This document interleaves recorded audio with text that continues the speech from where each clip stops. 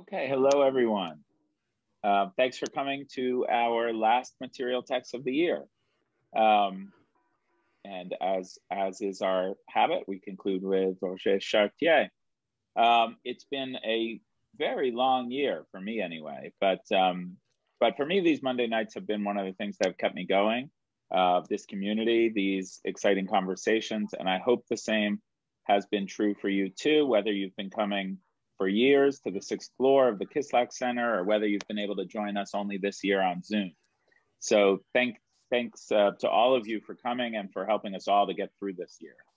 Uh, I want to give particular thanks this year to Philip Mogan, our Brisbane Schoenberg Fellow in the History of Material Text. Uh, he's done so much work to keep the seminar going virtually, set up our YouTube channel so you could catch the talks you missed, and just generally taking care of all the logistics involved in running a large weekly workshop online. Um, his last job as fellow will be to train next year's fellow, who I'm happy to announce will be Aylin Malcolm.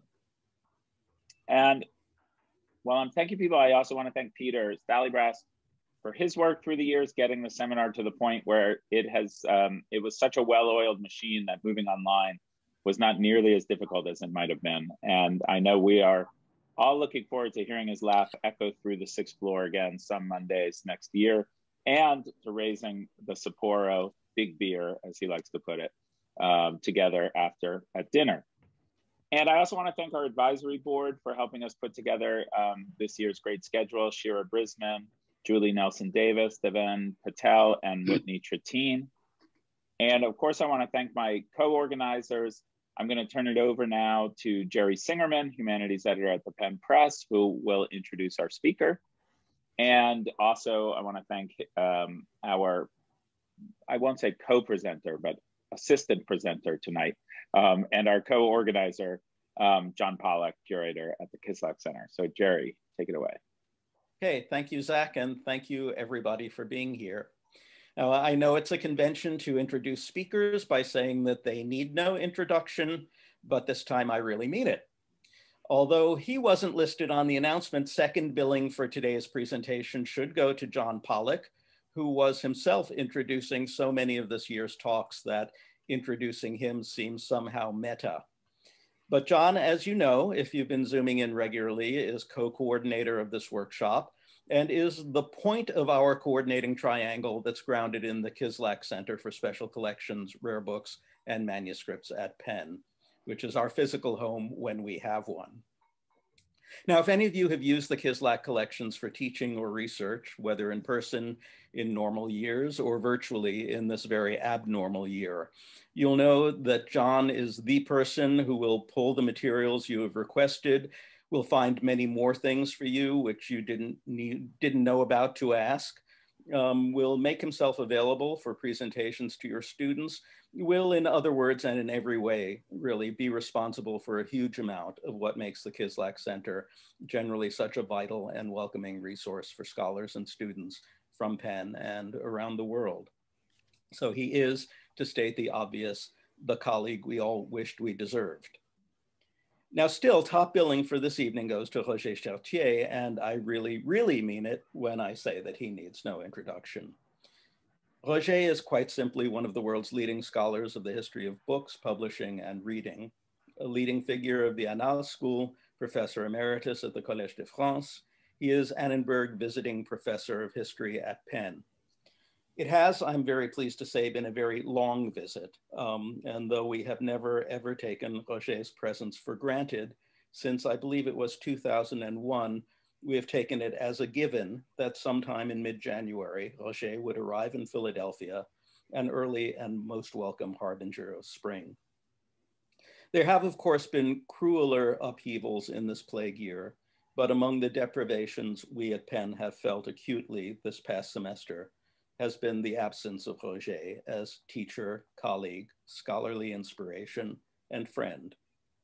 I have so missed sitting in my customary place at the pavilion conference table at these workshops, just to the right of Roger, ever switching my gaze from that week's speaker on the one hand to the sheets of paper in front of Roger on the other, sheets that would start out blank and would gradually fill with elaborate and rather cryptic diagrams and notations lightly made with an appropriately, one might even say emblematically sharp pencil. I might well lose my way in the course of the presentation, but how often, how often have I, indeed have we all, found the trail out as Roger revealed those diagrams to be maps of questions and summations of extraordinary generosity, acuity, erudition. The list of Roger's publications in French, English, Spanish, Portuguese, Italian, etc., etc., is of course long and influential, so I will content myself by simply mentioning that he has been one of the editors of the Penn Material Text series since its inception, and that in the bio that he distributed for this talk, he has undercounted the number of books he has published with the press. For before 2007's Inscription and Erasure, Literature and Written Culture from the 11th to the 18th Century, there was 1995's Forms and Meanings, Texts, Performances, and Audiences from Codex to Computer, derived from his 1994 Rosenbach lectures. In an appalling oversight, we seem not to have published anything by Roger in the teens of this century. Other publishers, more on the ball, have had no such drought. But I'm of course delighted to note that the current decade will see the appearance next year at Penn of Won in Translations, Textual Mobility in Early Modern Europe, ably translated by John Pollack and the book from which tonight's talk is derived. I'll say parenthetically that I'm like chuffed that we're having one book by Roger next year. Um, he's just revealed that he's working on nine others simultaneously. Um, so um, anyway, I am so very, very honored and pleased to welcome Roger Chartier, speaking not from Philadelphia, where I really wish he could be, but from Paris, where it's already quite late and getting later by the minute. So let me, without further delay, hand the floor over to Roger and John. Uh, thank you very much, Jerry, for this uh, excessively generous presentation. Thank you, Zach. Uh, as you mentioned, uh, and you suppose it's a great pleasure for me to meet today or tonight uh, so many colleagues and friends I miss so much. And I prepared, as you recall, the Jerry's seminar with John Pollack, who will be uh, during this uh, seminar the master of the PowerPoint. Meaning effects forms Gracian from oracular in 24 to Catholic quarto.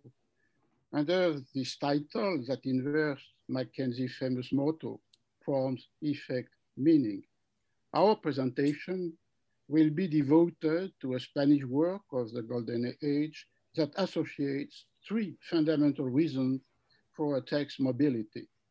The instability of its authorial attribution, the transformation of its materiality, and its migration between languages.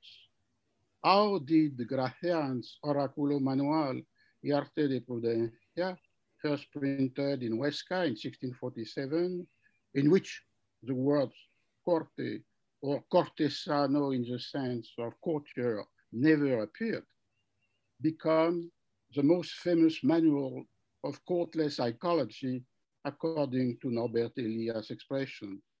That is a question that this seminar would like to address. Let us begin with the title page of the 1647 original edition. Gracian book, you can see on the screen, is a very small book, printed in the format in 24th or vicesimo quarto, that can easily be carried in the hand without any difficulty, according to the definition of the word manual in Covarrubias, Tesoro de la Lengua Castellana o Española, published in 1611. Only two copies of this edition have survived one in the library of Jorge Furt, collector, scholar, and landlord in his estancia de los Talas in Luján, in the Argentine Pampa. And the other one, you see it in the Royal Danish Library in Copenhagen. The Oraculo Manual continued the publication partnership with the printer Juan de Nogues in Huesca that had begun with three other books by Gracian, El Héroe in 1637, a new edition of El Político, originally published in Saragossa in 1640, and in 1646, one year before the Oraculo Manual, the first edition of El Discreto. All these editions shared a very small format, in this case, for these three books, the format uh, in uh, 16 uh, sextodecimo. Three proper names appeared on this title page. First, the author's name, Lorenzo Gracian, and not Baltasar Gracian, the Jesuit who actually wrote the book. This device allows the book to avoid the internal censorship by the Company of Jesus and to be submitted only to the regular censorship of the Vicar General of the Diocese of Huesca, who had granted the licencia, con licencia at the bottom of the title page. That is to say, the permission to print the work. This device also framed the reception of the text as a work written by a secular author, Lorenzo Gracian, and not by its very author, a Jesuit, Baltasar Gracian. Before the Oraculo Manual, Gracian Baltasar had already used this device and published under Lorenzo's name, the name of his brother, all this previous book. El héroe, el político, El arte de ingenio, tratado de la agudeza in 1642, and El discreto. The second proper name is Don Vicencio Juan de Lastanosa, a noble patron from Huesca. Lastanosa was a book collector, owned a, he owned a cabinet of curiosity, and he hosted in his house and his garden the conversation, the tertulia of a company of learned people, among them Baltasar Gracian. The verb used publicar, publicala, can be understood as indicating or hiding the different roles possibly played by Lastanosa in this publication as the whole who commissioned the work or who compiled the book or edited the text. The authorial attribution is thus divided into the other, the author of the works compiled, Gracian, Lorenzo Gracian, and the supposed author of the book in which they are compiled, Lastanosa. The third name is the name of the dedicatee, Don Luis Mendez de Haro, and he added another layer of protection because Haro was a nephew of Olivares, to whom he has succeeded in 1643 as the Valido, the chief minister of the king Philip IV. The genre of the book is a collection of aphorisms, of aphorisms extracted from the writing of a single author, supposedly Lorenzo Gracian. In this sense, it is different from the miscellaneous anthologies of aphorisms collected from various modern writers. One of the most uh, famous was uh, the Italian one, the Ortensio Lando, Oracoli di Moderni Ingegni, printed in 1550. And also it's different, it is inscribed, uh, this collection of aphorisms coming from a single author to the tradition of the collection devoted to a single ancient author. For example, Plutarch or Tacitus. And in the library of Lastanosa, some collection of apothegm or aphorisms from Plutarch and Tacitus were present. The meaning of the word, is, or the intended meaning of the word, is given by the four words of the title. Oraculo. Oraculo had a polysemic resonance, an ambivalent meaning. Covarrubias, in his dictionary, in his tesoro, defined the word as, I quote, among the Gentiles the answer given by demons and by their false gods, which was always equivocal and ambiguous. The definition given by Covarrubias echoes a contemporary proverb. There is no oracle without an occult science behind it. And also, it echoes the expression words of the oracle that referred to any answer that was obfuscating or obscure. But oraculo can also mean a person who is listened to with respect and veneration because of his wisdom or knowledge. In El Politico, for example, Gracian depicted Ferdinand of Aragon as, I quote, the greatest oracle of reason of state, which is ambivalent meaning. The term alluded to the hidden knowledge addressed only to those who are able to decipher its truth. Whence the paradoxical association with the second word, manual, oraculo, manual, because this association linked, on the one hand, an easy availability, and on the other hand, a cryptic knowledge. The address al lector asks the reader to pardon, to forgive this paradoxical title, Oraculo Manual, which is given to, I quote, a summary of rules of life, epitome de acierto del vivir, because it is sententious and concise. And uh, sentencioso is used here in its earlier modern meaning as, of, uh, as a set of sententiae transmitting universal, but in this case, vague knowledge or truth. Arte introduces another ambivalence. It designated just both a set of precepts necessary for correct action and the book that contains those precepts. Covarrubias expressed an equivalency between arte and a set of well-ordered rules. I quote this entry in the Tesoro, ars, which begin with the Latin uh, formula, ars est recta ratio rerum faciendorum, and so, said Covarrubias, we say of all things that lack order, reason, or harmony, that they are done without art. But arte also can have an hermetic, a secret meaning, as in one of the books owned by Lastanosa in his library in Huesca, which was a recopilation of the Arte Magna e Arbor Scientiae of Raymond Lull, a recopilation, a recompilation published in uh, 1586. It is with the fourth word of the title, prudencia, that we can better understand Gracian's own prudence, dissimulating itself behind the name of Lorenzo Gracian and perhaps behind the authority of uh, Lastanosa.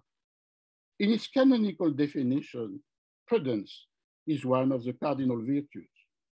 In the perspective of Thomas Aquinas, prudence is a sign of the presence of divine light, divine light in each human being, the presence of God's attributes of truth and justice in human actions.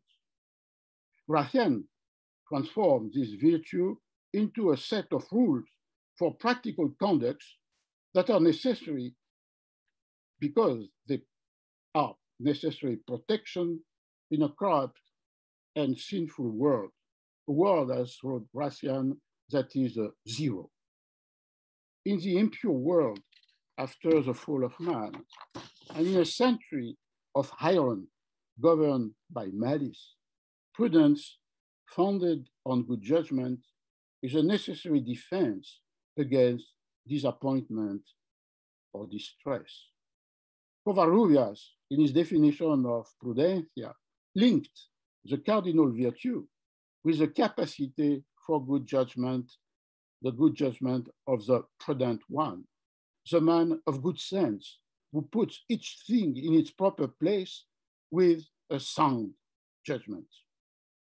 The ambivalent words of the title, Oraculo, Manual, uh, Arte, Prudencia, draws, draw the portrait of the implied reader of the book as the discreto, the wise man who have discernment and judgment, who knows how to comply with the times, who is able to decipher the oracles. As wrote Lastanosa in a text which is his prefatory address to the readers, composed for the first edition of El Discreto, another book by Gracian, and the text was translated into English in 1702, and I quote the translation. We can listen to Lastanosa. Gracian wrote not for everybody, para todos.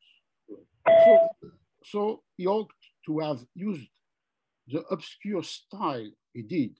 And Lastanosa has a, has a striking formula, la arcanidad del estilo. And that to beget the more veneration for the sublimeness, sublimidad, of his understanding, the mysterious manner of expressing things being more than sufficient to extol their worth. Gracian's arcane style must overcome the contradiction between, on the one hand, the potentially universal circulation of the text once printed, and on the other hand, the appropriation that must be the appropriation only by those few who are capable of understanding it. Norbert Elias quotes Gracian's in his two fundamental books, The Court Society and The Civilizing Process. For Elias, the Oraculo Manual was, I quote, in a sense, the first handbook of courtly psychology, as Machiavelli's book on the prince is the first classical handbook of courtly absolutist politics.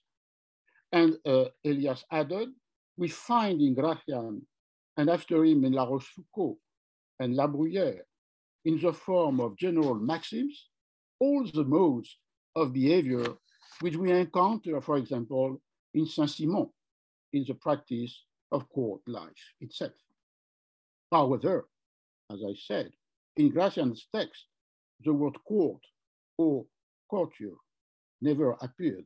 Cortesano as adjective he used only twice, and as a synonym of polite in the expression cortesano castigo, or as a synonym of mundane, worldly, cortesana philosophia. How Gracian's book did become for Elias a manual teaching the behavior required by the court society and the court sociability. The answer can be found on the title page of the French translation published in 1684. In this case, the authorial attribution implies two proper names. In 1684, the French translation restored the author's name, the true identity of the author, Balthazar Gracian. Amelot relied upon two authorities to justify his decision to restore the true name of the uh, author. The article dedicated to Baltasar Gracian and Nicolas Antonio's Biblioteca Hispana, published in 1672, and the article on Gracian in the Bibliotheca Scriptorum Societatis Jesu, printed in 1676. According to Amelot, either Balthazar Gracian modesty or his pious scruples could explain why the Jesuit had chosen to use his brother name, quote, I quote uh, Amelot, not believing perhaps that it would be fitting for a man of his profession, a Jesuit, to share the company of profane authors. The second name is the name of the translator, Amelot de la Houssaye. Amelot was the translator of the previous year, 1683, of uh, three books, all printed in Amsterdam. A translation of Machiavelli's Prince, published under his own name, and the translation of Sarpi's History of the Council of Trent, and a translation of, Tibet, of uh, Tacitus in the form of uh, discours politique sur Tacite and uh, constituted by a series of maxims ex extracted from the text of Tacitus' Annals devoted to uh, the uh, Emperor Tiber. And both of these two uh, of these books were uh, published in Amsterdam under a pseudonym.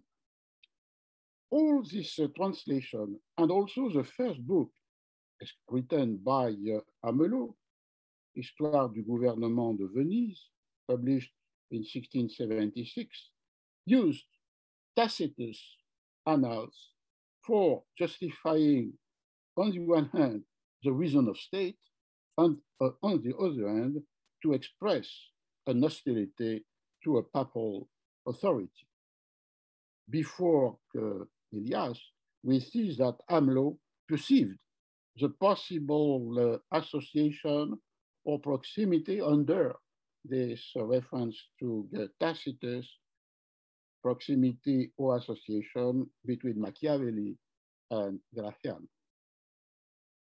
The book received a new title, L'Homme de Cour. Amelot were well aware of the difference between the title of its translation and Gracian's title he justified his choice in his preface. The reader will note that the title L'Homme de Cour accords quite well with the Arte de Prudencia, since nowhere is prudence so necessary as it is at court. He gives a second reason for his change of titles that makes the work's significance clearer. I quote Amelot.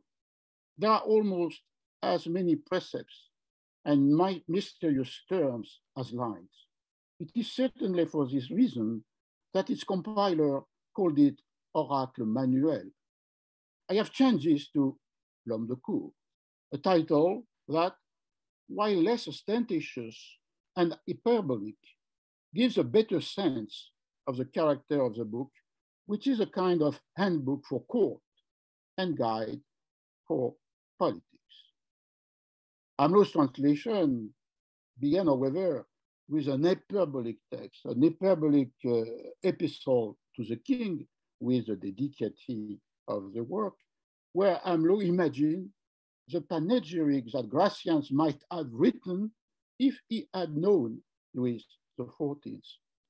The frontispiece you see uh, uh, on uh, the left was engraved by Pierre Lepautre and it pictured Louis XIV as a Roman emperor, as a victorious general who holds in hand the map of the fortified town of Luxembourg recently conquered in 1683, and also as says the motto of one of the medallion of the four medallion behind the uh, king, that uh, Louis XIV is a prince conocido sí, abarcado no.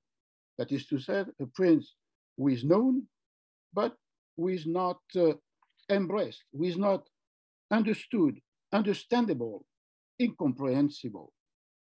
Dedicated to the king, Amelot's book, associated thus, very tightly, courtly rationality and political absolutism. This new meaning given to the text deeply affects or affects its material form. Amelot L'Homme de Cour, as you can see, is a large quarto that make a liberal use of blank spaces on the page. All the maxim and uh, on the screen we have the uh, 98 uh, maxim are numbered and clearly separated from the previous one. Each maxim has a title, in this case, dissimulé, consisting either of the first sentence or a few words from taken from the text. Each maxim is followed by notes, and you see this on the page 106 after the end of the maxim. The text which follow is a note added by uh, Amelot, and uh, uh, this note indicated on the title page. Is in the first instance the translation by Amelot of excerpts coming from two other books by uh, Gracian, El Héroe et El Discreto, as if finally there was a commentary of Gracian by Gracian himself through this uh, quotation uh, translated by uh, uh, Amelot. And Amelot added his own commentary and sometimes footnote to the text of the, to the uh, aphorism transformed into maxim. At the end of the book, you have several tables which allows the use uh, kind of thematic reading of the book and not necessarily a sequential one. And this uh, apparatus is constituted by the table of the title of the 300 maxims, by the references to the chapters of El Héroe and El Discreto used in the note, but also a recapitulation of the precepts or key notions of uh, the, which are in the book itself, from admiration to vérité, and finally, a series of quotation of, I quote, particular maxims from great princes and men, both ancient and modern. As you can see now, the layout of the small book printed in Huesca in 1647 was very different. We have here the same uh, aphorism or maxim without uh, the number, cifrar la voluntà, translated as uh, dissimulé in the French uh, edition. Here, as I said, the aphorisms are not numbered. They have no separate title, just the first word for first sentence. And the book is without any notes or uh, index. When you compare, as here, it's possible the small uh, in 24 and the uh, large quarto, uh, you can see how the uh, uh, Oraculo Manual was transformed into a luxury book, L'Homme de Cour, and is no more a portable pocket manual. It also functioned as an anthology of several of the Gracian's works, and instead of a set of universal rules of prudence necessary in a fallen world, fallen world, intended to for those who know how to decipher or to read or to understand them, L'Homme de Cour is a collection of maxims and precepts that unveil the rules of courtless civility for all those who desire to know them or to practice then. And it was in Amelot French text that Gracian's Oraculo Manual was circulated in all Europe. In the late 17th century and in the beginning of the 18th century, all the translation of Gracian, with one exception, were translation of the French translation. And the French text was itself republished very often, 12 times, 12 editions between 1684 uh, uh, uh, until 1730. And these three editions were printed in Paris, in Lyon, but outside of France, in French. The Hague, Augsburg, Antwerp, Rotterdam. And here we have two uh, of this uh, edition, two Parisian edition owned by the uh, uh, Center and the library at Penn. Uh, on the left, the sixth edition, and 1693, and uh, on the right, the 702 edition. Both are presented as corrigé, corrected, and the second one is also uh, presented as uh, augmented. Augmented. Only one translation has preceded Amelot's French translation, an Italian version published with the title Faithful to the original, Oracolo Manuale e Arte de Prudenza. As this translation was printed in Parma in 1670, republished in Venice in 1679, and we have at Penn uh, another re-edition, 1690. Uh, you see here how the book is Diretto alla nobiltà venetiana, addressed to the aristocracy or the nobility of uh, Venice. All, this was the only one before Amelot's translation. Consequently, all subsequent translations take Amelot's book and his addition to the Spanish text as their copy text and all adopted the curialization of the work as it was operated by l'homme de cour. If the German and Dutch translation, and we have not uh, on the screen, but uh, uh, the German translation published the first one in 1685, and uh, the uh, Dutch in 1696, has preserved in their title the French, l'homme de cour, we see here in an Italian translation, the second translation after the first one we have seen, but now a translation from uh, the text established by uh, Amelot and not more directly from Russian Spanish original.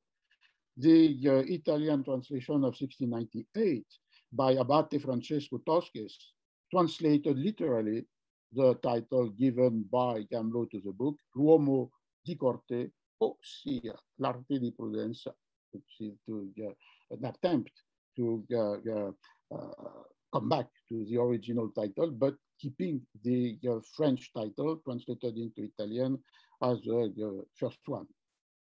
This uh, Italian translation of the French text, and we have at, uh, at the edition of 1703, and I said it was published in 1698, was translated into German by Christoph Heinrich Freiersleben in 1723. And you have on the, the right side of the, the, the, screen. In this case, we have a translation of a translation of a translation. And so uh, this uh, German text was a translation of the Italian translation of Amelot translation. The anonymous English translation in 1685 tried to make a combination between the French title and the original title with this formula, the courtier's manual oracle or the art of uh, uh, uh, prudence. I said uh, that uh, there was one exception to uh, this rule of the translation of translation, and in the case, translation of translation of translation this uh, uh, exception for all the period between 1684, first edition of Amelot to the 1730, when uh, in France was published a new translation of Amelot, of a new translation of Gracian by another Jesuit, François de Courbeville, the only edition which was based directly on the Spanish text and not on Amelot's version was this German one by August Friedrich Müller, a translation published in Leipzig in 1715 with the title Balthasar Gracian Oracle. And uh, in this text, the aphorism by Gracian are quoted in Spanish before to be uh, before the translation, and also uh, uh, a commentary by the uh, translator. In contrast to this fundamental phenomenon of the translation of a translation, we have the Spanish edition and re-edition The first one were Madrid, 1653, Lisbon, 50, 16, 1653, 1657 for uh, Lisbon, and Amsterdam, 1659, remain faithful to the first edition, lacking all the apparatus and table introduced by Amelot, of course, uh, without the notes uh, introduced by Amelot, and also the lacking of uh, any containing no reference to the court. here we have in 1669 in Antwerp an edition of the Oraculo Manual Arte de Prudencia, and uh, this copy is interesting because it shows the effort of the reader or owner of the book to add by hand the devices necessary for a thematic reading of the work. This edition uh, was an edition within the obras of Baltasar Gracian, that is to say, the, uh, the uh, edition of eight Gracian's book into two volumes. And what is interesting is, to, as you see, the title of the works remain faithful to the title of the first edition and attributed the text to Lorenzo Gracian, which all the books in this uh, works are uh, as such, except the last one, El Comulgatorio, devoted to the Sacred Communion of the Catholic Church, and the text which had been published in 1655, and in this case, the only one with the name of, I quote, Baltasar Gracian de la Compañía de Jesús.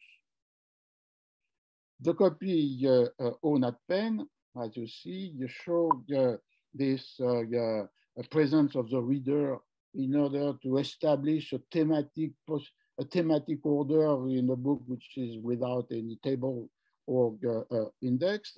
Uh, we see is practice, that is to say, uh, to put uh, on the uh, right the word nota, you know, not to indicate the passage which deserve to be accepted, or to the to add in uh, some also on the right, uh, some reference to Latin text, and in marginal headings to uh, indicate the passages which could be commonplace. On the uh, page 394 on the left, he has uh, accepted or indicated as a thematic rubric synderesis, that is to say, what he would designate a good judgment. But also you can find uh, the, the, uh, the, thematic rubric for the amigos, cortesia, negociante, idades varias, uh, emulatio, emulos, etc. But the Spanish uh, editions remain an exception. The early modern European readers read Gracian as he had been refashioned by Amelot de la Houssaye.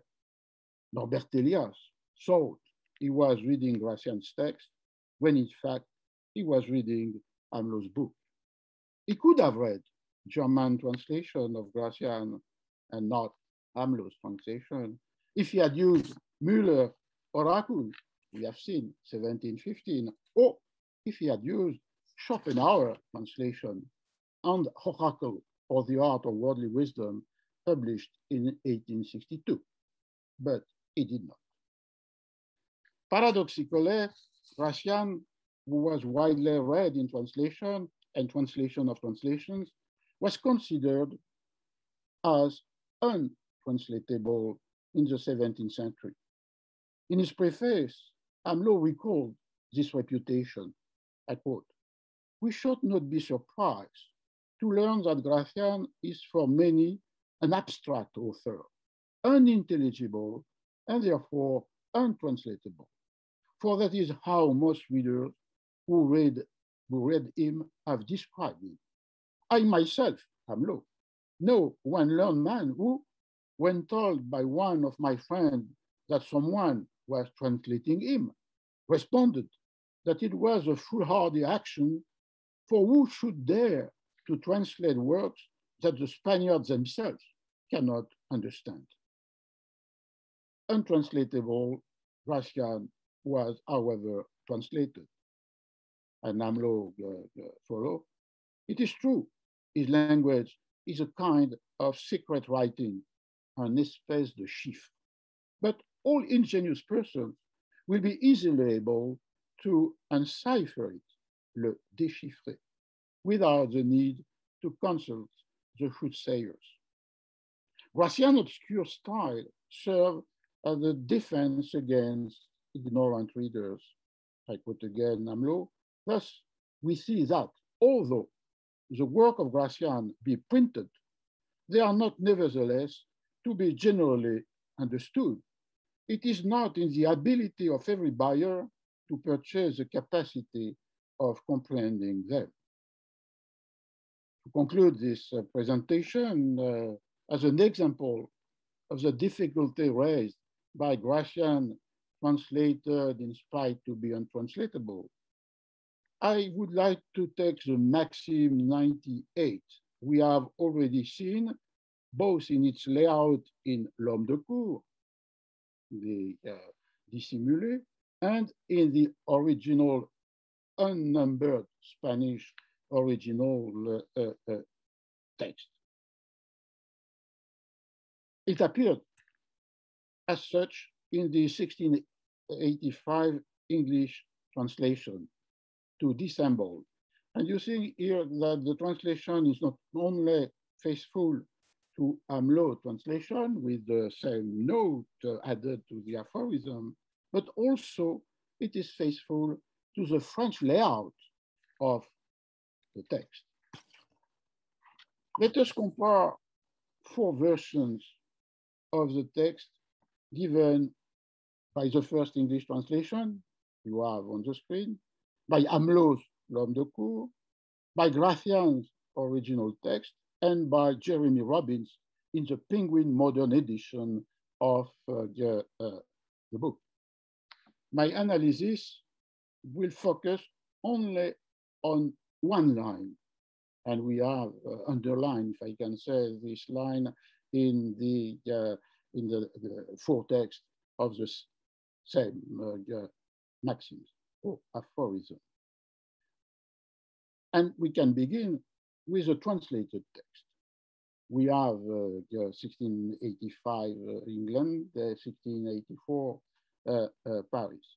In this case, Amelot and his English translator choose in the penultimate sentence of the maxim devoted to the art de dissimuler or to the art of dissemble, a vegetal metaphor for the uh, uh, uh, English, we have this formula, which is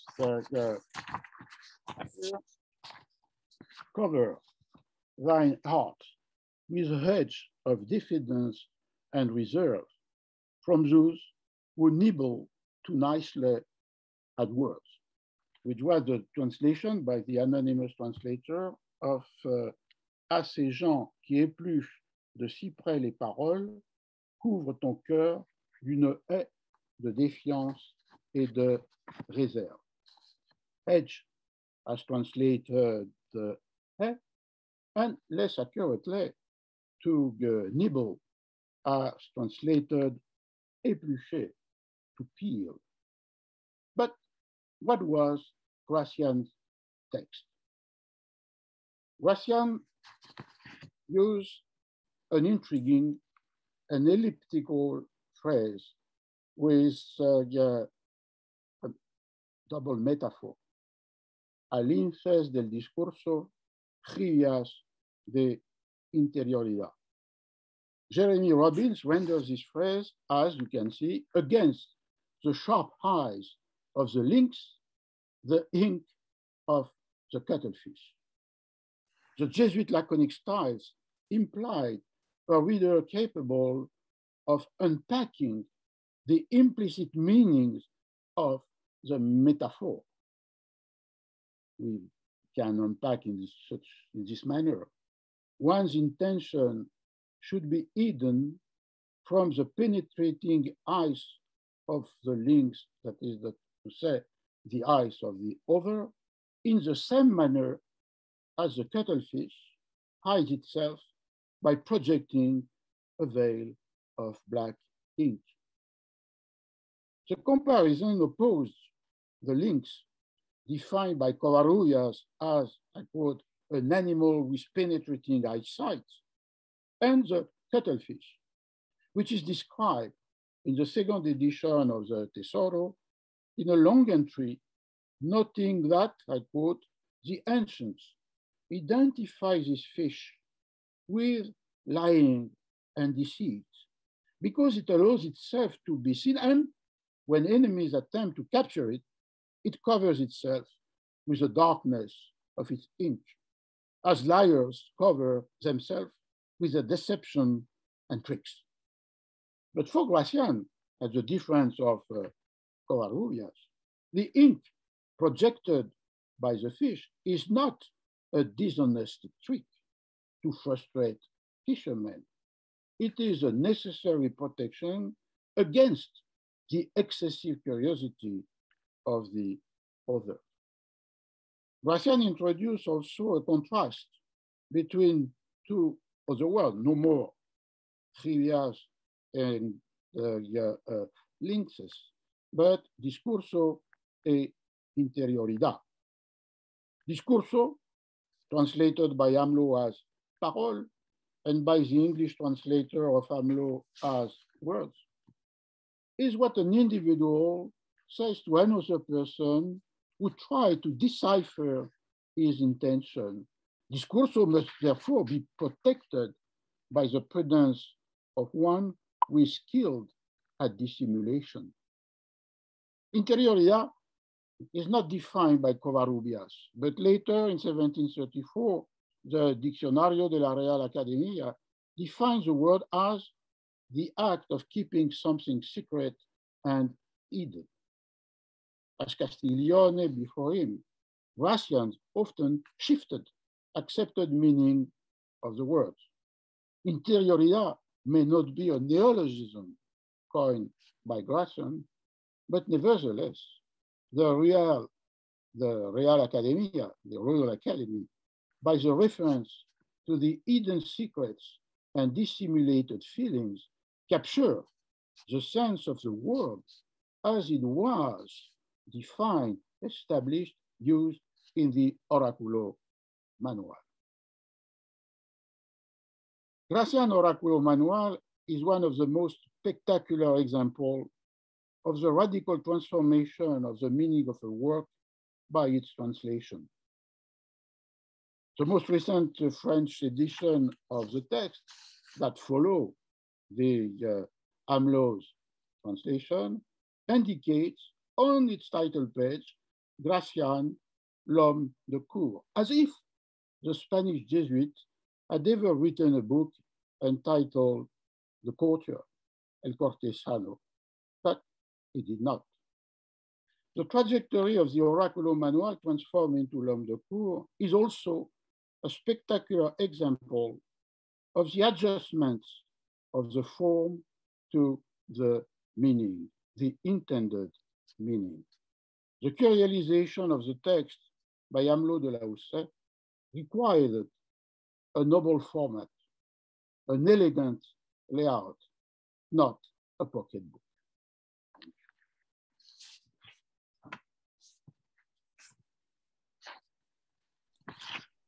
Uh, thank you so much, Roger. That was quite wonderful. Um, and I know there are going to be loads of, of people who want to talk to you, ask questions. The floor is open for, for questions, comments. Um, please use the raise hand function. Um, you can also pose questions in chats, although um, I'm not very good at multitasking, um, and it's best if I'm just looking in one place at a time. Um, so, so please. Um, I see predictably a first question from Liliana. Um, thank you so much. I have to ask the first question to show you that we are back in business here. Um, Roger, you have talked so wonderfully about the translation of the text. Um, I want to know a little bit more about the commentary. What about the translation of the commentary? How did that travel? Uh, mm-hmm. when was that shortened, left out, altered according to the translation of the text? How, could that survive and be translated in similar ways or very differently? Ah, it's a topic I have not studied closely. That is to say, how, in the case of the, uh, the English translation, 1685, and retaken in 1702, uh, when the, uh, a second translation attributed to John Savage was uh, published, the question is simple. They translated literally, as literal as possible, the text by Amelot.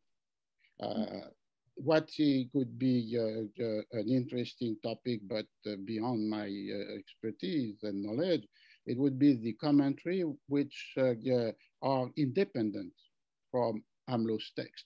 Uh, either because this, uh, uh, the, the, translation was made, as the case of the Müller Oracle, on the basis of the Spanish text. So we, all the commentary are original, or in the case of uh, Abate Tosques, because he translated but also commented in Italian in the uh, edition of 1698, the, the text. And here, it would be an entire uh, other lecture about the uh, uh, inscription of Balthazar Gracian within all these different contexts.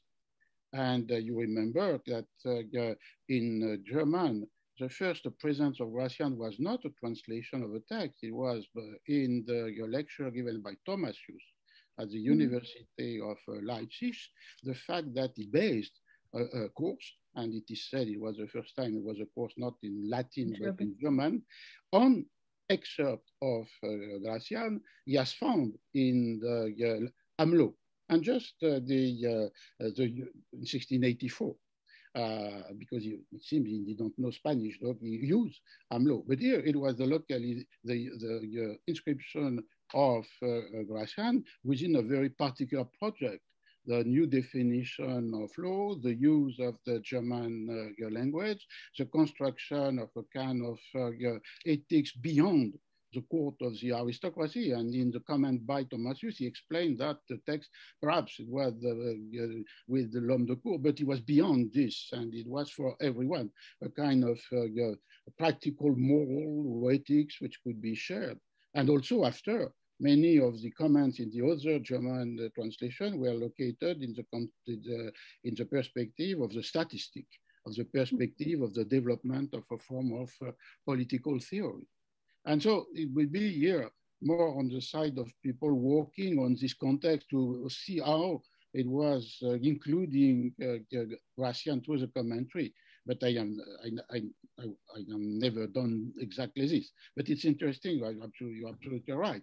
That the, the, mutation of the meaning of the text was not only uh, associated to uh, the difficulty uh, to translate or the uh, uh, decision or constraints upon the translator, but it was also a little what we have discussed one in the past, uh, the different localization of Las Casas in different contexts, you have something similar on a shorter period, because of course it's late 17th, uh, late 17th century, 18th century. But every context, through the commentary, can indicate the appropriation for different purpose of, uh, of Gracian. Yeah. Um, Roger, I, once, once it becomes the man of the court, how is it read against Castiglione, which got there first as as the book of the courtier. Um, is well, it? I, yeah, you are right. You are B both uh, uh, difference and perhaps some uh, link to association. So different. It's uh, uh, Amelot published in 1684. That is to say, it's a moment in which the court uh, in France is installed in Versailles, and it gives to the court this kind of more uh, uh, uh stable, uh, hierarchized, governed by the etiquette, the nature of the court.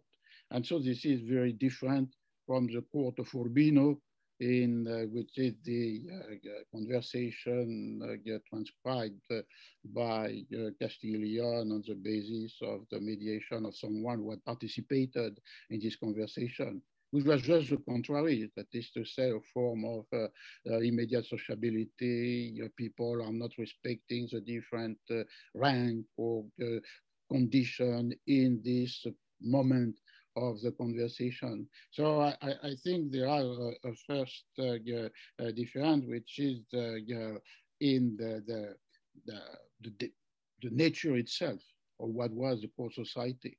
And there is an immense difference between uh, Urbino uh, in the beginning of the 16th century uh, and Versailles in the 1780s and it creates this uh, difference. And it was a, a, an argument also for discussing the court society by Elias, because the model of the court society directly derived from the reading of uh, Amelot using uh, for this purpose uh, Gracian could be challenged because all the courts are not exactly uh, uh, according the same pattern than the court of Louis XIV. So this creates a, a, difference, which could be uh, uh, something uh, more in common is the fact that both are emphasizing the practice of the of the uh, Uh, for the uh, uh, Gracian, uh, for Elias reading Gracian through Amelot, this dimension is absolutely a fundamental form of praxis. The, uh, what you have to, to, to do or not to do, to conceal or to uh, exhibit. Uh, in the case of Castiglione, the grazia is also something which is present in the practices and the uh, grazia must be in the word, in the behavior, uh, in the uh, physical exercise, uh, in the tournament, uh, and so on. So I think the, the common uh, the, the, the common element would be at the difference perhaps at a form of treatises about civility, mm-hmm. uh, which are normative and respecting this uh, hierarchy of condition, the uh, emphasis put on the uh, practical dimension of the uh, of the court rationality or the court liberty liberty for uh, Urbino and rationality uh, following Elias for Versailles. Yeah, thank you. I mean, it, it is so interesting that the first German translation cites the Italian name of, of, of the book, almost as if, you know, in the German context, as if it's pitting it against Castiglione and not against the, the French. Um, yeah. But uh, I see that Peter has, has a question up there. Thank you, Roger. That was a, a wonderful talk. Um, I'm, I, I, it's a related question in a way to what Jerry was asking, uh, and I'm thinking about Castiglione, but perhaps in the context of the first edition and why he felt that he couldn't publish under his own name, uh, you know, under the name of Balthasar. And I'm wondering about what's happening in the relationship between the cardinal virtues and the theological virtues, which, you know, Aquinas did so much to try and bring them together. So that the notion that the, you know, the theological, the theological virtues, which are specifically Christian, whereas the, you know, the uh, um, cardinal virtues are not specifically Christian. They're, you know, they're, they're in Plato, they're, they're in Cicero.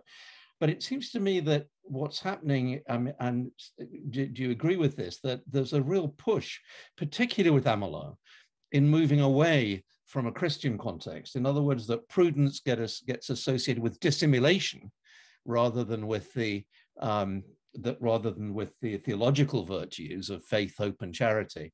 Um, and you know, I'm thinking also specifically, which I know you thought a lot about, the relationship with um, Castiglione and sprezzatura, the, the notion that sprezzatura is actually a form of dissimulation. It's that you have to pretend uh, not to be working too hard. And I'm thinking of the extraordinary stuff that goes on around the attempt to deal with sprezzatura in Gracian, which is a certain je ne sais quoi. Uh, that's the English translation, paradoxically. I don't know if it was there in the French, uh, I'd forget whether it was there in the French translation. So, uh, despejo, uh, but dispraising, all of these words that actually have a dis in them and a certain dissimulation. Uh, but dispraising was one of the English translations of Castiglione, uh, that you dispraise yourself, but as a form of actual praise. So all of these things, I mean, so the question really is to what extent do you see Amelot as even pursuing further with this linguistic uh, sensitivity to all these potential questions, a kind of deep-rooted um, subversion of the connection of prudence that Aquinas had made with the theological virtues?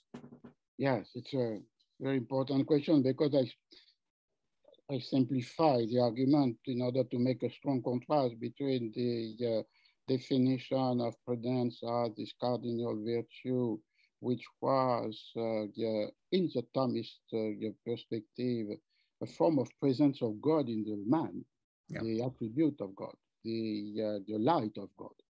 And so the, uh, the distance with prudence defend, defined by uh, uh, Gracian as uh, a set of practical rules to avoid discontent or to avoid the sinful mm-hmm. world. Mm It's enormous. But perhaps, and it's thanks to you, I can say this, you have to introduce uh, another element, which is perhaps uh, mediation and its um, definition of prudence, not strictly as this uh, light of God in the uh, human action, but the prudence when it is identified to the capacity uh, of the individual to uh, associate times.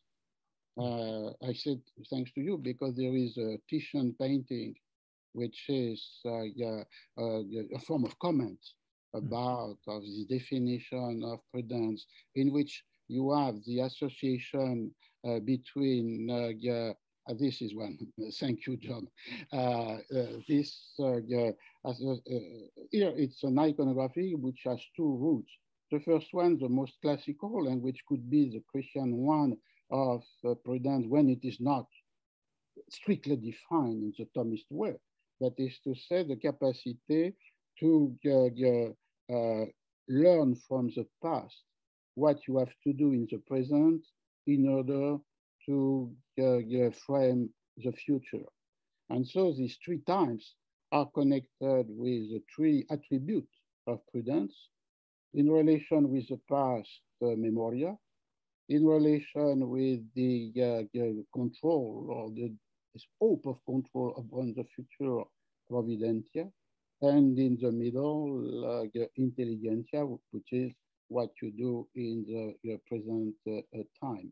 So this uh, connection, it was prudence, which was defined as this capacity of uh, dealing with the three times, and these three times corresponding to three faculties which were encompassed by the, the category of prudentia. And this was translated in the iconography from the Middle Ages to the Renaissance. Uh, a, a, a, dominant form of the iconography of uh, prudence was uh, the, the three-headed figure, the woman with three figures and accompanied by three books or with three mirrors, as if each of these three elements corresponding to one of these three faculties corresponding to one of the three moment or period of time. And in the case of this painting by uh, Titian, in which there is, a, it's a comment of a motto, which we cannot see on the image, but there is uh, something uh, uh written, uh, uh, which is from the past, the present acts prudently, lest it spoil future action. So it's we take this motto this, and the, uh, part, the part in which you have the three faces could be connected to this three times, three stage of uh, the, the life of uh, a man, and implied reference to memoria, intelligentia, eh, eh, providentia. What added here, and there is an article, two article by Panofsky uh, on this uh, painting. Uh, what is added is the three animals, the fox, the lion, and the dog, which was not in this traditional iconography, but was imported from a reference to uh, uh, Egyptian uh, hieroglyphic culture or the Hellenistic culture, and in which these three ages could be uh, uh, metaphorized or symbolized by the three animals, the fox who, who is devouring the past, the lion, which is the strength in the present, and uh, the uh, dog connected with the, the projection in the, in the future. And uh, Panofsky showed that this uh, uh, three, these three animals were the consequence of the presence and commentary upon uh, figure of the uh, god Sarapis, which was accompanied by a three-headed monster. So in this case, Prudence is still Christian, but is not in the very strong Thomist meaning, and it could be a way for going to the, uh, the use of prudence are the sets of rules of uh, protection in a corrupt and sinful world, which is, uh, in order to link to your second point, but connected with the first, that is to say, uh, the, the, the key notion of dissimulation. Uh, because, of course, uh, the, the dissimulation in in Gracian uh, acquire the positive meaning of uh, avoiding the uh, of hiding your intention in order not to be deciphered by the uh, uh, other. And in this sense, it could be the, the rule for uh, a form of behavior which is always connected with the anxiety of this world, who, which is a zero, and uh, which is a, a, protection of the uh, individual.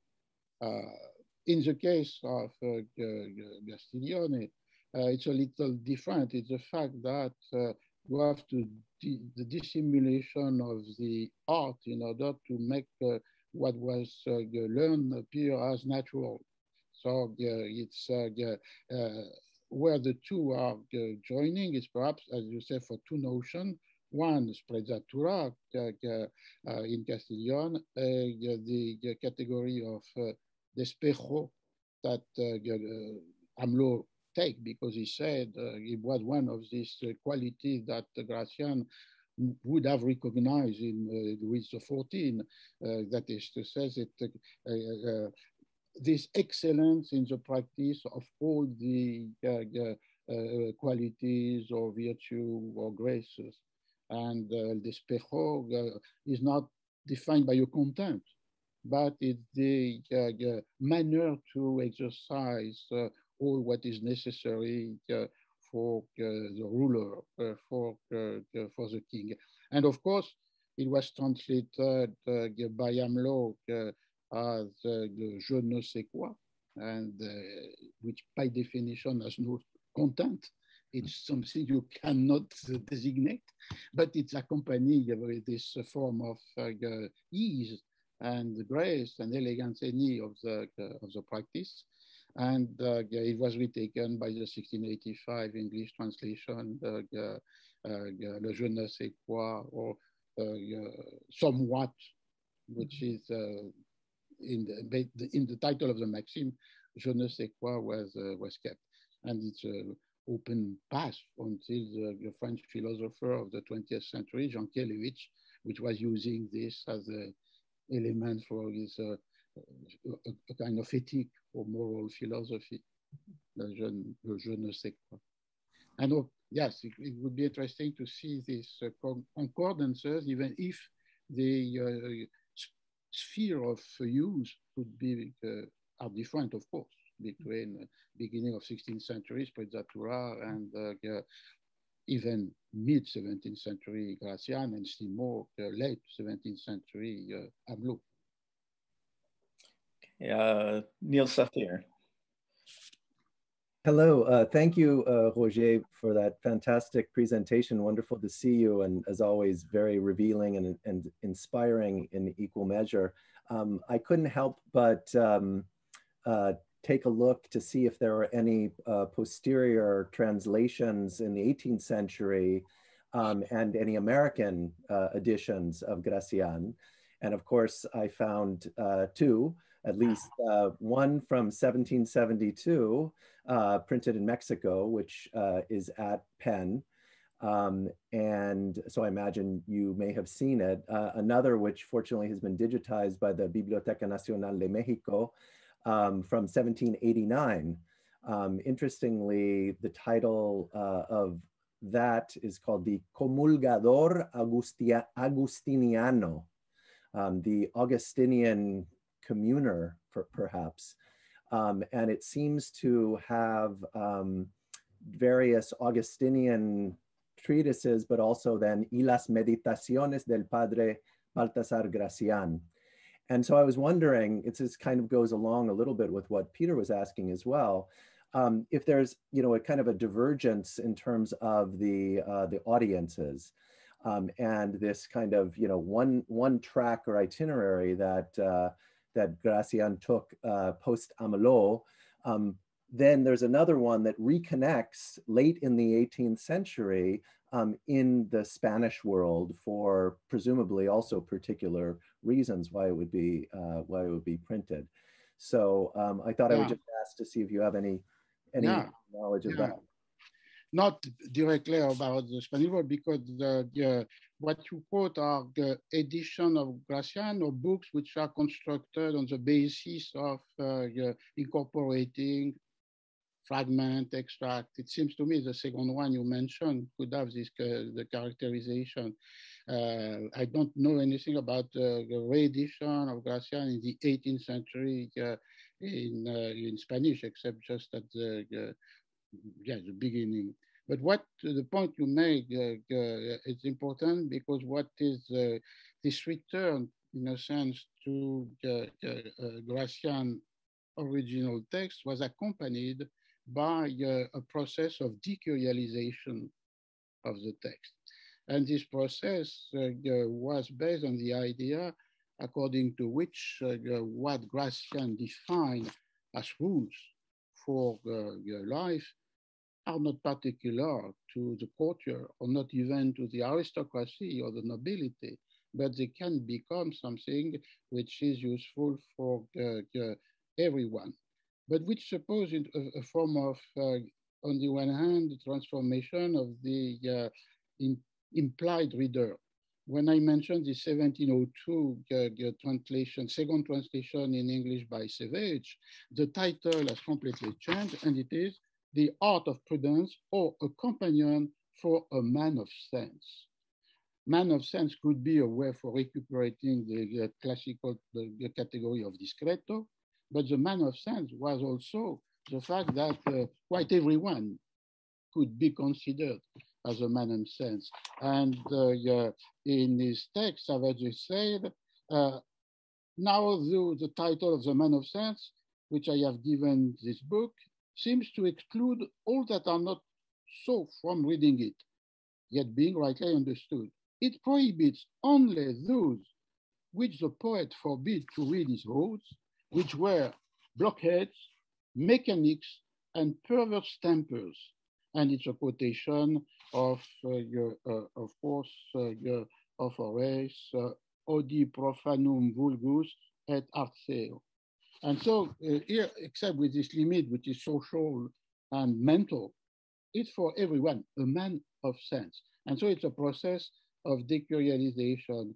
And this process was accelerated, and it would be perhaps uh, what we have to follow in the 18th century by the second French translation by Courbeville, another Jesuit, and the uh, uh, uh, title was Maxime de Balthazar Gracian.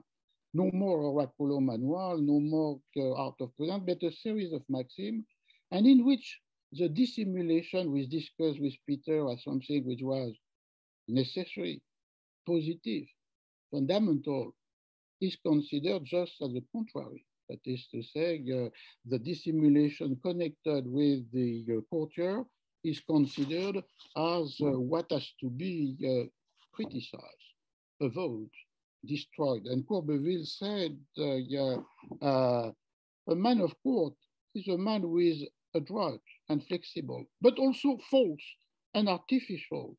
A man who constrains his tempers, who acts contrary to his passion, who acts and speaks in opposition to his own feeling. And in this sense, is no more an exemplar, an example for all the people, all the men and women of sense, but it becomes what to have to be uh, avoided. And in this sense, what described uh, uh, Gracian is no more what you have to follow, but has, it is what you have to fear and to avoid.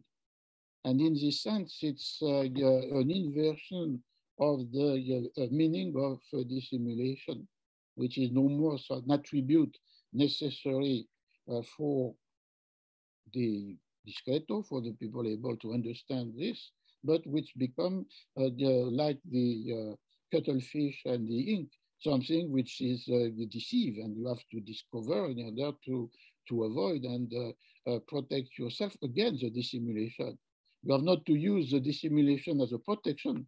You have to protect yourself against the dissimulation. So it was a shift to, of the implied reader from the reader who has to follow the rule and as a reader who, thanks to what uh, is described, can uh, be protected against the evil uh, uh, represented by the uh, other. So it seems to me that this process of uh, decurialization is interesting because it connected both to the return to the original text in Spanish and secondly to an inversion perhaps of the meaning given to the text in Spanish or still more by Amelot.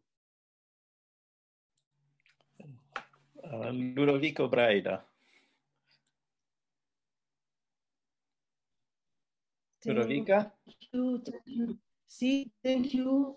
Thank you, Roger, for, your intense and uh, analyze uh, of the multiple forms of the text mobility. And uh, all is very interesting, but also the instability of the authorial attribution.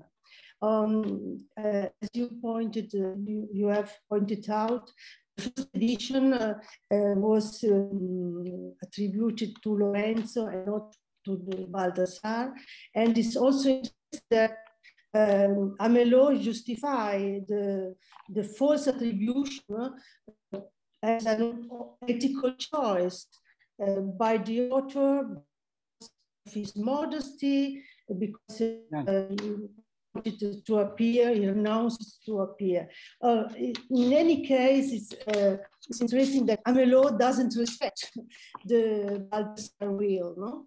And, uh, but it's also a problem because in many cases in European uh, publishing, the translations uh, uh, restitute, in many cases, the name of the authors whose texts were published anonymous uh, in the first edition. And I think this is a very interesting case, also in general, for to study uh, translation in uh, European uh, European literature. Yes, it's uh, very interesting because, of course, uh, when it's connected with a discussion about the reason for this dissimulation by uh, Balthazar Gracian behind the name of his brother. And so there are various interpretations. I mentioned two. One, uh, the more classical, and it seems to be true, the censorship, to avoid the censorship within the, the Company of Jesus, not only because uh, yeah, in this sense, Gracian would have supposed that the, the, the, the, text would have been in a certain, in a certain sense endowed or uh, uh, uh, certified, authenticated by the company, also because the censorship in the company was in Rome. So there was a delay between you can print. So for this reason, it seems to me that uh, the interpretation of the, to avoid the internal censorship of the company of Jesuit, of the Jesuit was uh, understandable. The second uh, uh, interpretation could be uh, an interpretation in terms of a dual personality. And here we will, the suggestion that since the moment on which in Gracian there is a, a, a, distinction between uh, the profane and the sacred, and in this uh, aphorism in which the world is a zero, but with heaven uh, a, a, a whole, a totality. And so this distinction between the mundane, the worldly, uh, the uh, profane on the one hand, and on the other hand, the sacred could be uh, the tension between Gracian as Jesuit and Gracian as writing the texts uh, which are not uh, in the strict uh, orthodoxy uh, or which are not considered as necessarily uh, in conformity with the teaching of the church. And, and the third interpretation could be also the fact that uh, uh, in this di distinction between Gracian the Jesuit and Gracian the author of Oraculum Manual is the other uh, is the other book as uh, a little like uh, in Borges El Otro the other this uh, Gracian in the in the uh, Lorenzo, which is also Balthasar, would be the other one, would be a kind of dual personality or divided personality. It's another pos possible interpretation, it seems to me. And the interpretation you, you recall about this, uh, the hypothesis made by uh, Amelot about the, the reason why an author would like to hide his name, uh, it's a reason you know very well because it could lead not to the use of pseudonym, but to the use of anonymity. And this anonymity has this uh, profound imbalance uh, in all the uh, index of the Catholic Church. On the one hand, it's, uh, it's a danger because the anonymous texts uh, are more difficult to, it's more difficult to prohibit or to condemn their author. And so uh, you remember perhaps in some index, uh, the texts were condemned because they were anonymous and uh, independently of the content. The fact they were anonymous was a sufficient reason for condemnation. At the same time, even in the same, this uh, same index, uh, for example, the Rojas y Sandoval in Spain, there was the idea that some people could be uh, tried to hide themselves by uh, reason of modesty. And so uh, this modesty could lead to uh, anonymity or could lead to use uh, another, uh, another name. and so in this case, it could be this desire not to appear in the forefront of the literary world. So all these reasons could be, are not contradictory, but they are interesting because they uh, allow to enter into the discussion about pseudonymity or anonymity, uh, as you have done for 18th century Italian text, uh, in the early modern, uh, early modern period. Uh, what is also interesting is the fact that the only moment in which Gracian accepted to appear or claimed to appear as Balthazar Gracian is for particularly Orthodox texts, this Comulgatorio, uh, reflections about uh, the, uh, uh, Sacred Communion. And here, since from the first edition one, it's the author is Balthazar Gracian. And so it would be an argument for this distinction between all what is considered a profane work and which did not need or uh, uh, could avoid the censorship by the uh, company and the profoundly Catholic, religious, Orthodox text as a Commiseratorio. Thank Zach. you, Roger. Um, thank you, Roger. Uh, that was fascinating. There was I was interested by the the numbering of the maxims, and there was in one of the Spanish copies, someone had written in 98. Looked like a, a later. I don't know if it was a librarian. Looked, looked much later, but it did um, make me wonder about uh, how once you number them as maxims, the reception of the text might change. And do we have, you know, for example, do we have um, anyone referring to them in print by numbers? You know, just look at Gracian's 38th maxim and you'll see what I mean by this or that. The, the ability to reference them in that kind of precise way seems like an important shift from the original edition to the translations.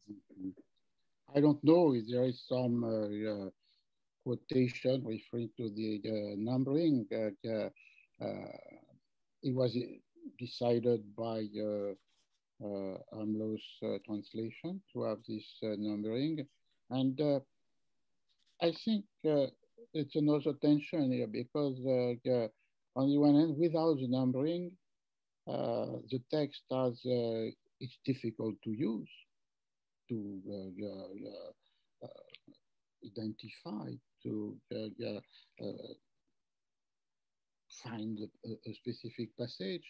And it creates also a kind of uh, uh, uh, continuity in, in, in, in the text. There is this movement in which the continuous reading is quite implied. Uh, where yes, still, if you have the numbering, the numbering is going with all these recapitulation index tables, uh, and also the attempt by this uh, reader of uh, un unnumbered edition and uh, without apparatus to, to try to make the rudimentary elements for a form of common placing.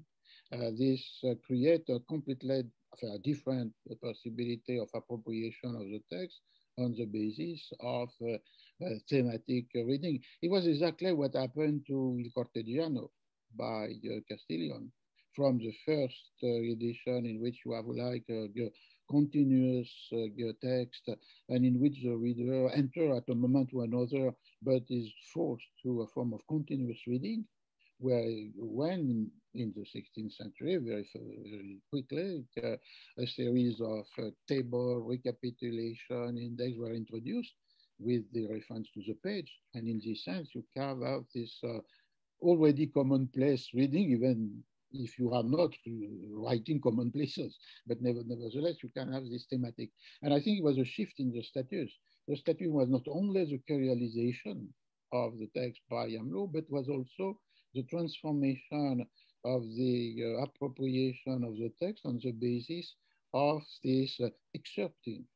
You, uh, you, you, extract some uh, uh, uh, maxim, and perhaps, I don't know, but it's interesting problem how the text was quoted by other, by other author, and if they referred to, to the number of the 300 maxims. So I, I think the, the, numbering, it's also in the, the uh, perhaps in the uh, kind of uh, moment of uh, French uh, uh, rationality, it would be interesting to see all the texts which introduce, not only as Henri Jean Martin has shown, the division between paragraph, the blank space, and which structure the page as it is structured intellectually or philosophically, and sometimes introducing also numbering uh, of paragraph or of parts. And, uh, and this imposition of uh, structuring the, the form of thinking I don't know if it's a diagram that uh, Jerry alluded to at the beginning, a diagrammatic mind, which could be perhaps uh, in the 17th century France something which has a Cartesian uh, echo and uh, was a way of dealing with the, with the text uh, and in rupture, in a sense, with the flux of orality, where he has this uh, layout Castiglione first edition, the Gracian first edition, uh, is not organized according to this structure in mind, and it's more open to this fluidity or flux of reading and perhaps also of uh, orality. I mentioned the fact that the text was also conceived of in this uh, uh, meeting or gathering in the garden of Lastanosa. And of course, in the case of Castiglione, it's a fiction of conversation. Well, Roger, um, I'm sure there are more questions and conversations we want to have, and it's almost one o'clock in Paris. Oh, and... okay. We can take on others. You are not tired. Uh, yeah, I have drank so, so much coffee that I can stay until four o'clock. It was four o'clock. Well, um, all right, you're on. I, I, I, would actually like to ask one question that Richard Kagan um, asked in the chat before he left. He had to leave early. And, and that is, do you have any thoughts about the rarity of copies of that first printing, only two surviving? Um, it seems odd for a book that was so influential or became so uh, influential.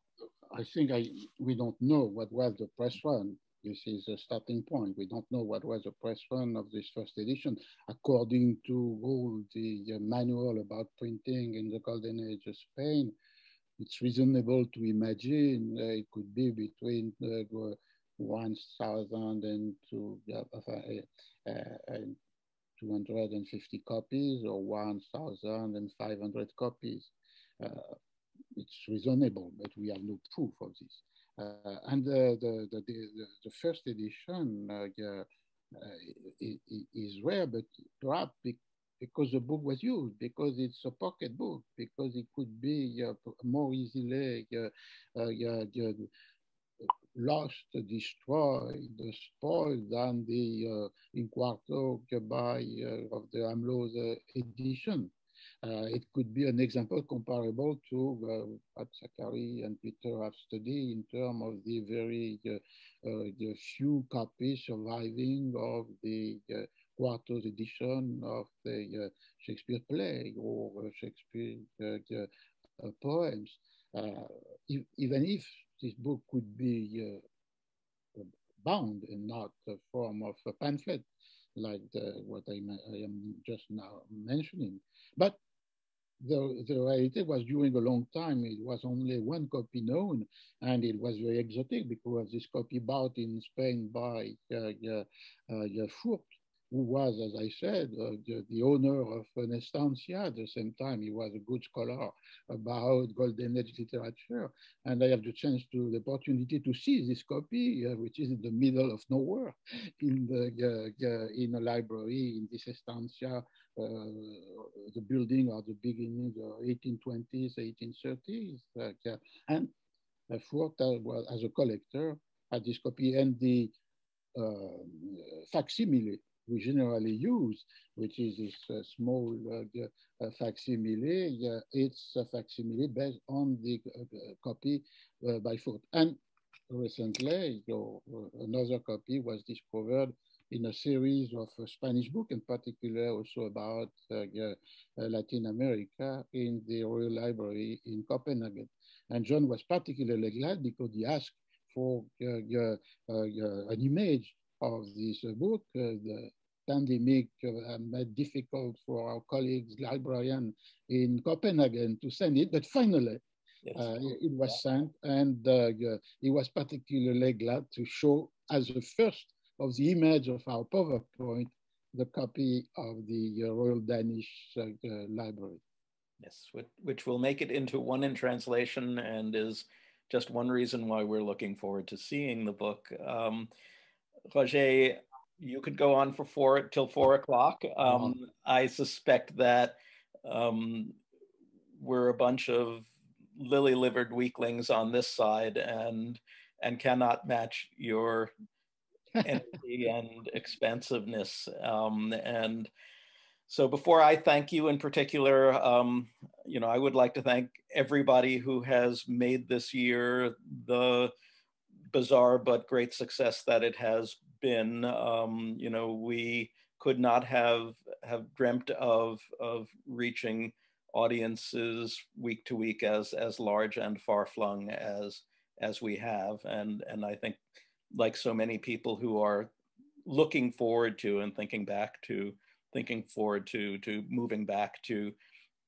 in vivo um, presentations next year we're, actually thinking hard about what what will be gained and what will be lost if if we move back to to to our our, our old habits on on the sixth floor of Van Pelt. Um, and so um, I guess uh, over the summer we will be thinking about um, some hybrid platforms. Um, so that's for the future and for the past of this year. But for for this evening, Roger, we, we could not have asked for a better conclusion to the year. And we're just so, so deeply grateful to you for, for your presence and for your presence tonight. And So thank you so much. Thank you so much.